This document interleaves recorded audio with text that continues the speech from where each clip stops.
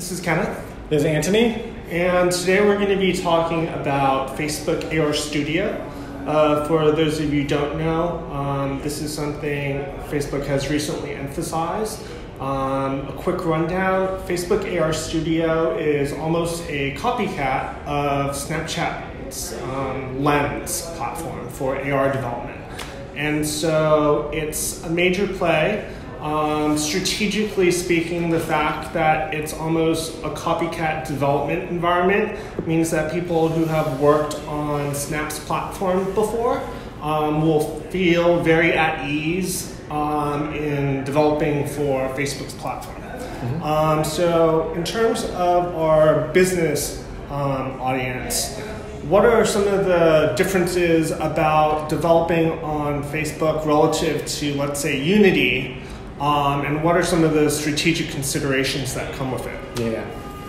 On Facebook, um, I mean, people just have to understand Facebook Studio is built for people to, to design things for Facebook. Mm-hmm. And so everything around it is around like pictures, um, obviously selfies and things like that. Unity is made as a, a robust development environment. So you can build entire games with physics. All of that is baked into a platform like Unity. You can do like almost anything you can imagine in Unity, You can make like short films.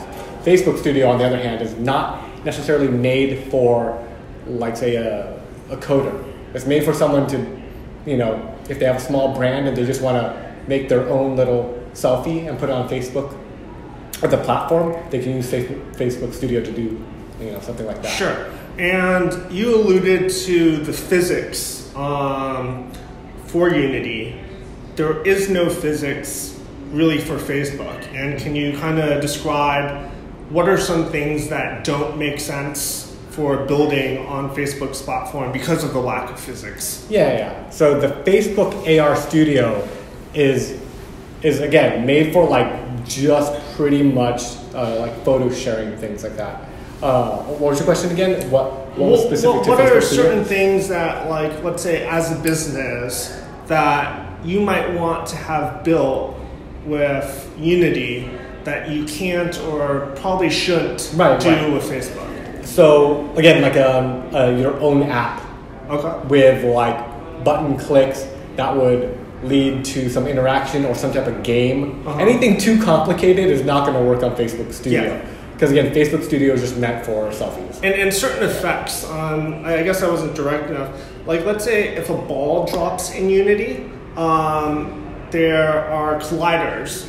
Um, the other thing is that it would bounce if it falls on the floor naturally. And as a developer, you don't really have to think about this. If you want to have the effect of, like, let's say a ball dropping in a selfie experience um, for Facebook, you kind of have to just program for the ball to go up and down, but it doesn't naturally kind of like bounce up and down until it loses friction.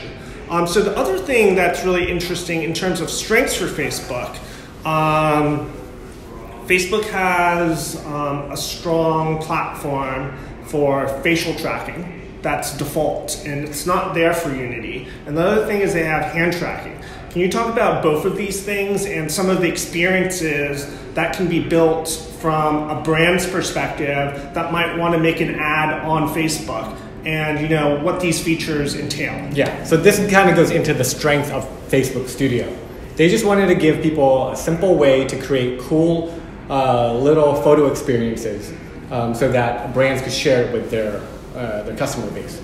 So face tracking is something that a lot of us are familiar with. Mm-hmm. Selfies, you put hats on yourself, uh, you know, masks, makeup, things like that. Um, then there's hand tracking. Hand tracking is a little a newer.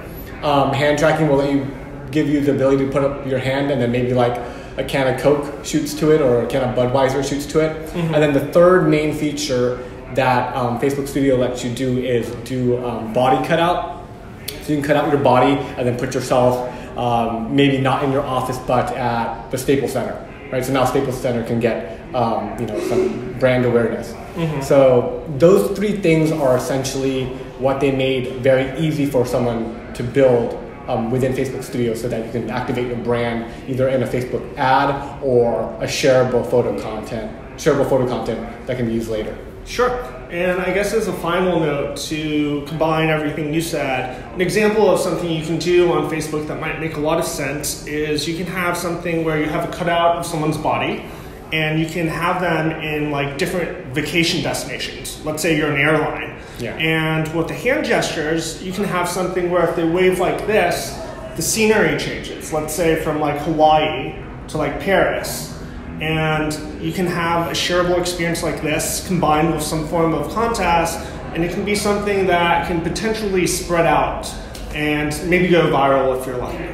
Um, any other final notes from you on Facebook Studio?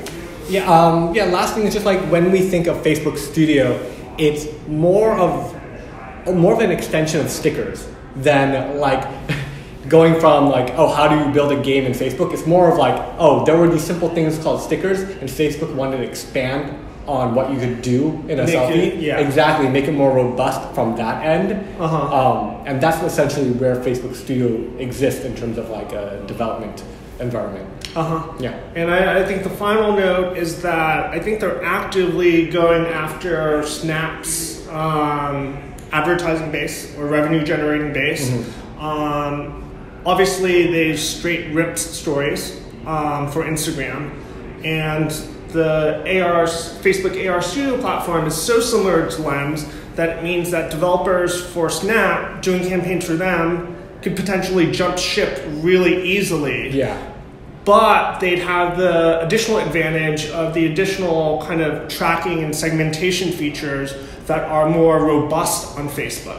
So, you know, if you're doing a campaign that's kind of selfie based on Snapchat, but you're kind of disappointed with your targeting options, Facebook is kind of throwing out the welcome wagon for you. Yeah. All right, bye guys. Right.